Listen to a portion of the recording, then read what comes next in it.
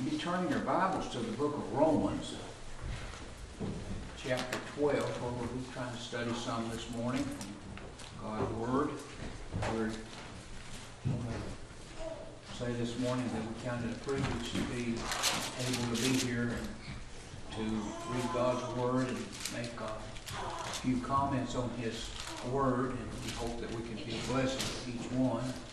Uh, we've tried to study this week, and we feel this is the uh, lesson that the Lord would have us to uh, try to teach this morning. So, in the in in the book of Romans, chapter 12, verse 1, very familiar scriptures, but there's a whole bunch of stuff here that's really uh, a blessing if you'll just kind of break it down and look at it. And, uh, and uh, John's writing here, he says to the church at Rome, and of course he is writing to the brethren, so uh, we need to uh, clarify that. I beseech you, therefore, brethren, by the mercies of God, that you present your bodies a living sacrifice, holy, acceptable unto God, which is your reasonable service. Amen.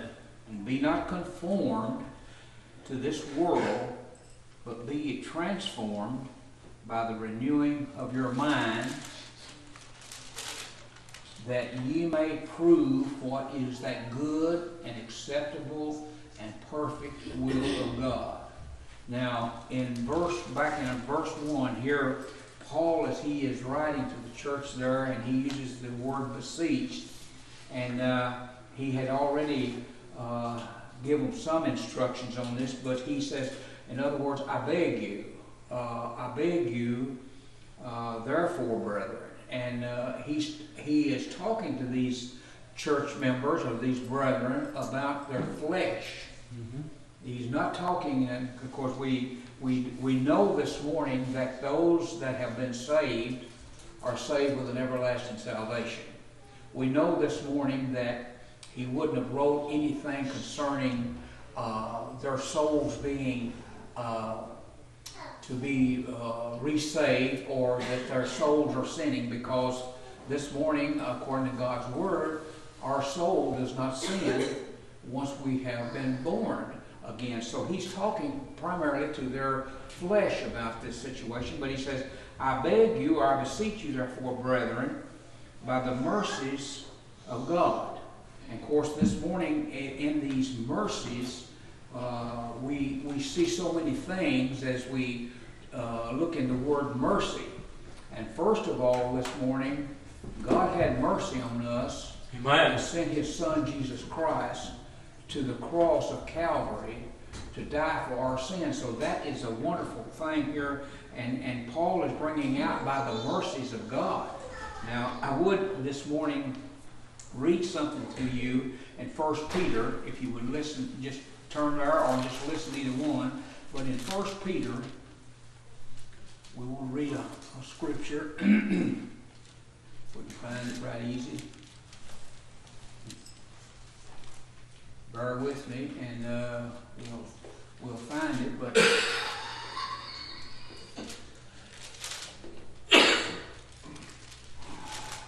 First Peter one and verse three, it says, "Blessed be the God and Father of our Lord Jesus Christ, which according to His abundant mercy hath begotten us again unto a lively hope."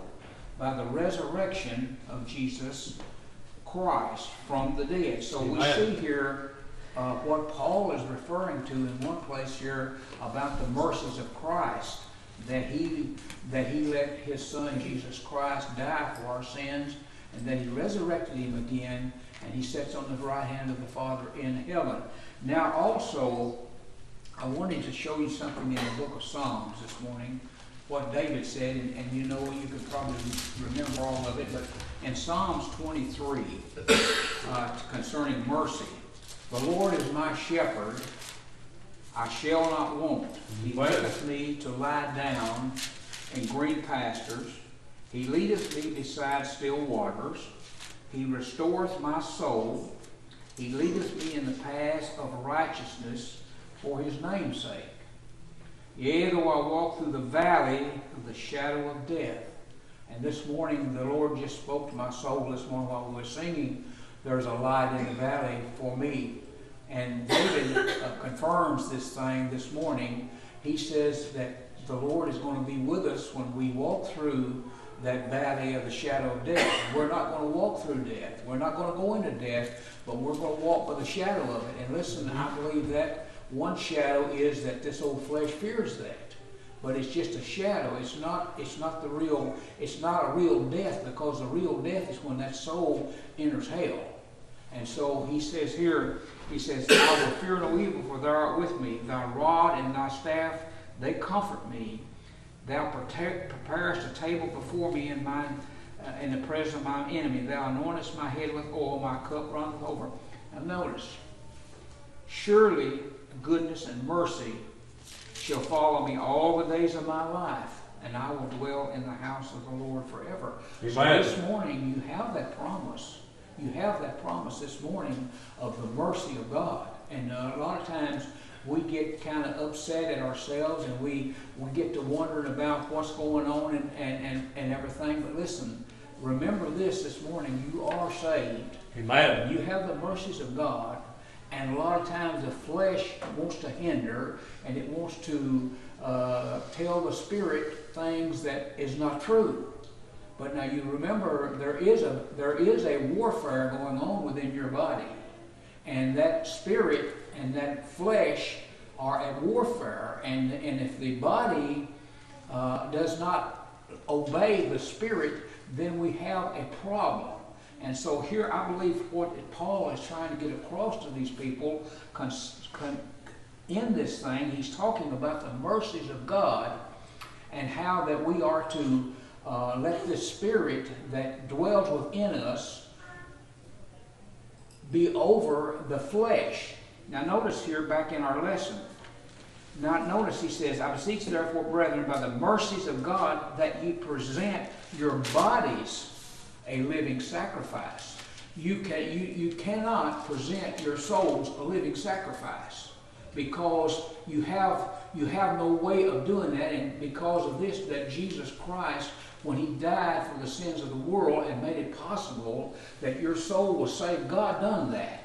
Your soul is saved with an everlasting salvation. But Paul says here, he says that to present your bodies a living sacrifice. and that this morning is what we need to uh, really concentrate on this morning is that our bodies is what people sees. Our bodies is what is presents God to the world because I can't see your soul, you can't see my right. soul, and so our bodies is and listen, a body watches a body, and a body knows the weakness of a body because listen, that's the, the same spirit that the devil has, and he knows your weakness. And he knows this morning just how to press your buttons mm-hmm. and how to cause you to lay overnight and worry about things that you have no control over. Uh, you, you lay there and you twist and you turn and thinking uh, about what's going to happen to you and, and how the world condition is going on and these things. Listen, you have no you have no control over it. And so the thing of it is, you need to uh, be, con- be con- uh, uh, concerned about how that you present your body uh, as a living sacrifice and, and to push these things out of your mind about that worry you because listen when you come to church with a worry on your mind with a worry about this and about that listen you cannot present your body a living sacrifice like you should because right. listen uh, the bodies of other bodies pick up on these things. And you can see somebody walking around all down and out, or uh, uh, you know, with their eyes red, where they, you know, all this. Listen, and I know we have worries and all this, but the bodies picks up on that, mm-hmm. and they say, "Well, hey, what's wrong with you? What's what's wrong with?" You? And then, of course, you here you go, pouring it out. Well, the thing of it is, a lot of times, a lot of times you don't, you need to have to have that on your mind anyway. But the thing of it is, Think about this. Keep, keep your bodies under subjection and, and, and let them be a living sacrifice to the Lord Jesus Christ because he says here, holy, acceptable unto God, Now, what does he say? Which is your reasonable service. Amen. And so, uh, you know, this word reasonable, uh, we use, we used to, I used to hear a lot of people using this. Well, that's reasonable to to want to do this or that. Listen, it should be reasonable with us this morning that knowing that Jesus Christ sent His Son to the cross and died for our sins, it ought to be reasonable that we want to serve God with our bodies as much as we do with that, that with our soul and our spirit. And so it's a, it's a reasonable thing that we should have a desire to serve the Lord. Amen. And so Paul is, and he's, he's strictly he's strictly talking to them about their flesh because he calls them brethren, and he and the brethren is identified as being saved. And so he says here, uh, with a reasonable service, and be not conformed. Uh, and this conformed, I wrote it down where I could uh, remember it, and I knew what was. But but he says, have same form or to change to form of the world. You have the same, and he says here, and be not conformed, be not, be not like the world, be not like even brethren that are saved. Don't be conformed to the world. And listen, that's a lot of the problem with, with our country today. So many people have, are conformed. Right. They're conformed to this world. They put their approval upon what the things is going on in the world. They may be saved, but Lord mercy, they're they're weak as branch water, Mhm. and uh, they have conformed to the things, to the images of this world, and to the things of this world. And listen, that's what they feast on. That's what they they they get up of a morning looking forward to to feasting upon the things of this world, and so they're conformed to it. But he says here, he says, "Be not conformed to the wor- this world, but be ye transformed." Now, how are you transformed? Well, when you trans, you move. Okay? He says, by the renewing of your mind. Now, he's not talking about your spirit. He's talking about your mind up here that rules this old fleshly body. There's nothing about your mind that is that is saved. It's part of the flesh, but it, it does rule the body. And the the soul, the spirit that God saved has a connection with the mind and telling the mind, hey, you need to move that body in this way. You need to make that body do this. You need to do this. And listen, so many times we don't pay any attention much to the transform. We say, well, you know, uh, never do today what you put off for tomorrow. I'll serve God tomorrow. I'll do that tomorrow. I'll read my Bible tomorrow. I've got things to do to to satisfy this flesh today. And so the, the, word transform is we need to we need to think about how we should be transformed. We need to pay more attention to what the Spirit says because Paul in his writings about himself, he says, I'm such a wretched man. Mm-hmm. I'm such a wretched man. Uh, the things that I want to do, and, and listen, I know Paul was transformed. I know that he was he was in the league, he was he was serving God, but he he he says the things that I would do, I don't do them. And and it's the same way with us. We have the best intentions in the world sometimes, but you know if we're not very careful, we'll miss reading our Bible. Mm-hmm. We'll miss praying, but we won't miss eating. Mm-hmm.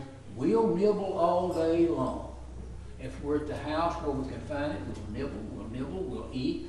But listen, you don't do the Bible that way. Right. You don't pray like that. You and that's that's the thing of it this morning. If uh, if in our process of of nibbling and uh, and uh, eating, we could uh, change that to reading the, the Bible and uh, studying God's Word Amen. uh, we would we would be a lot closer to the Lord. We would be more pleasing to Him. We would be more a living sacrifice.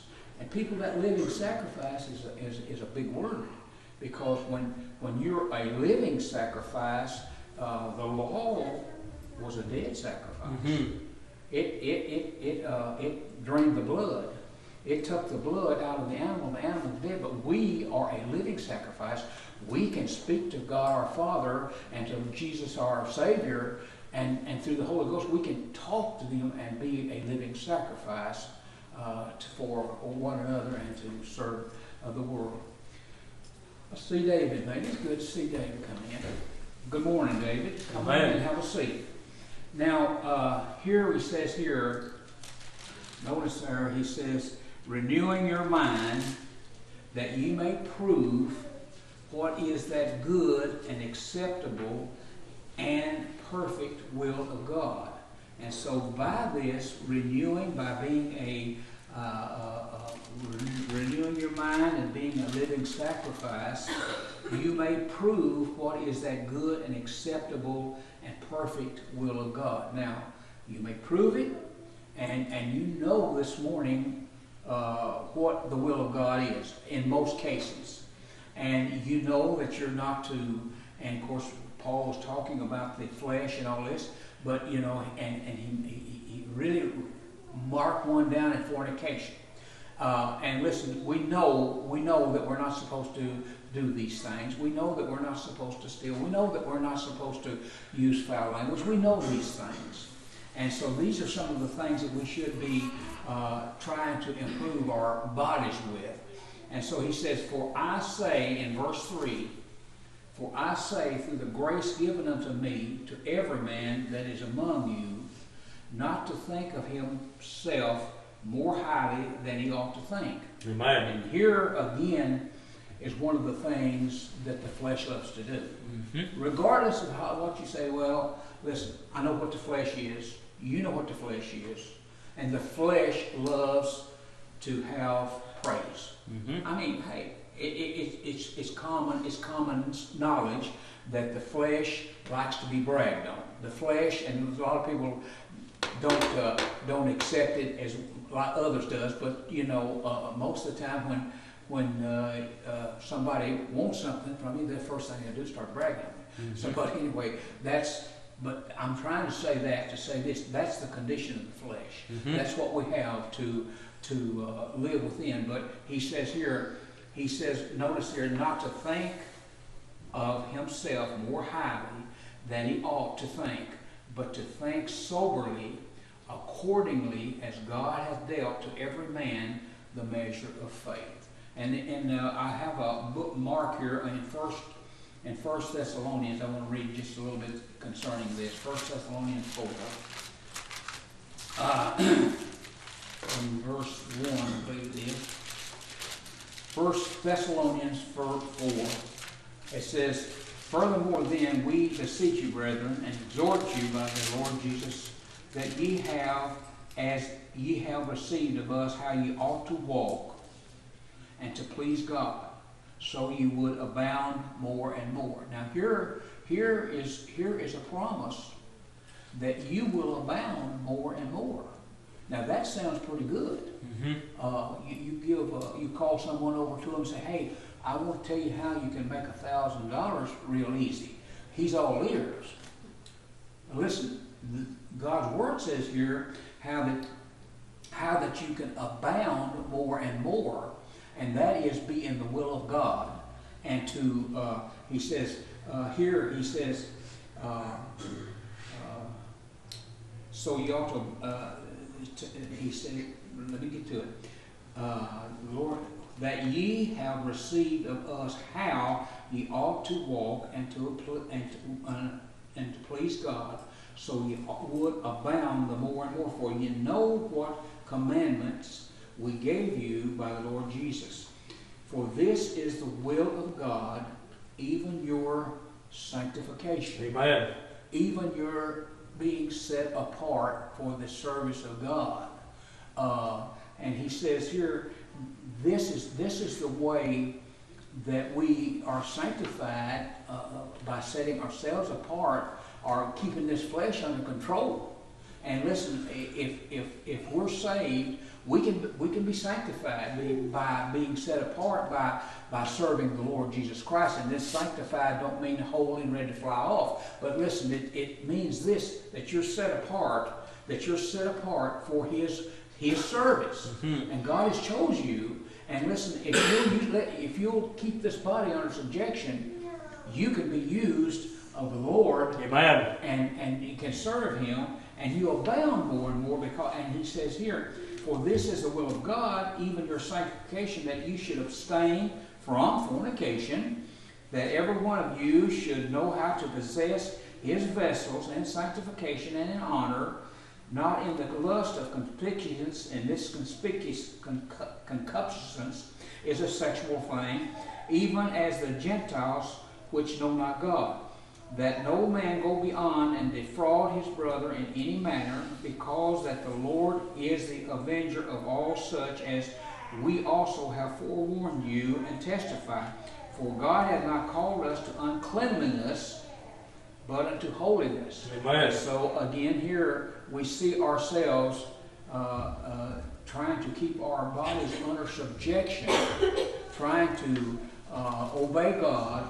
And when listen, when these foolish thoughts come into your mind, listen. If you'll just take a minute, the Holy Spirit, the Holy Spirit will warn you, and you need to push those things out of your heart, out of your mind, because listen, anything if you if you if you set and feast upon these things, listen, that's a sin. Amen. And the thing of it is, then if you're not careful, you'll put it into action. And then you're going to really suffer the consequences. And now I, I know we think about things, and if we can get them out of our mind and get them away from us, listen, that's the thing to do. Amen. We do not need to sit there and, and think upon these things and, and wonder, say, well, I can do this and nobody will know it. Listen, they will. Mm-hmm. Because listen, if you're if you're God's child, eventually uh, you're going to see a chastisement, and you're you will confess that sin, and the world will know it, and the people will know it. So listen, you you need to tell your flesh this this morning. Listen, eventually, I'm going to suffer the chastisement of God, and if I don't confess it, if I don't never confess it, maybe the world won't know. But listen, I'm going to stand in front of God one day, and I'm going to confess that sin, and the whole world will know it. The whole, mm-hmm. the whole people that are there, I'll confess that. And so these are some of the things that you can that you can threaten the flesh with, because the flesh does not like to admit that it's wrong. Right. Regardless of what it does, if it if they if they kill somebody or whatever, they'll say I had to do it because he's trying to kill me. They'll, the flesh does not like to be uh, uh, criticized. It does not like to say it's wrong. And so here is some of the things that we need to think about when we keep our body under subjection and when we are a living sacrifice for the Lord Jesus Christ and God.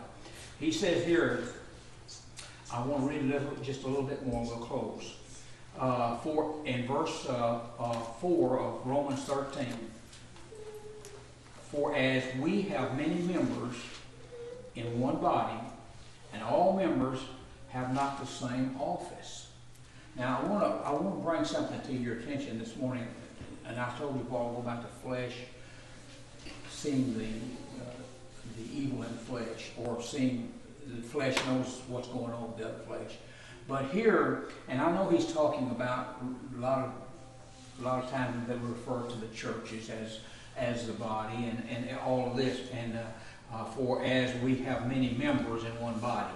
And of course, but this is the flesh that he's talking about here. This flesh has many body, members.